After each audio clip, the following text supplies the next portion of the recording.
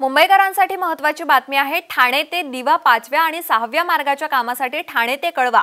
या धीम्या मार्गावर छत्तीस तासांचा मेगा ब्लॉक घेण्यात येणार असून शनिवारी दुपारी दोन ते रविवारी मध्यरात्री दोन वाजेपर्यंत हा ब्लॉक असेल अशी माहिती मध्य रेल्वेनं दिली आहे या ब्लॉक दरम्यान ठाणे ते विटावा रोड या दरम्यान पुलाखालील नवीन टाकलेला रूळ कट करून सध्याचा डाऊन आणि अप धीम्या मार्गांशी जोडला जाईल आणि त्याचप्रमाणे दोन रूळ एकमेकांशी जिथे छेदतात तिथं क्रॉसओव्हर यार्ड आणि अन्य कामं ब्लॉक कालावधीमध्ये केली जातील.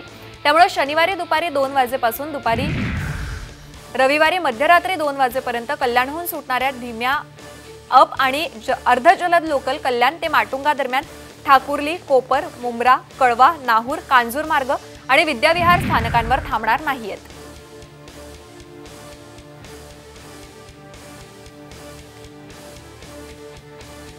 ठाणे आणि दिवा या दरम्यान पाचव्या आणि सहाव्या मार्गिकेचं जे काम आहे हे मध्य रेल्वे मुंबई रेल विकास कॉर्पोरेशनच्या मदतीने करत आहे.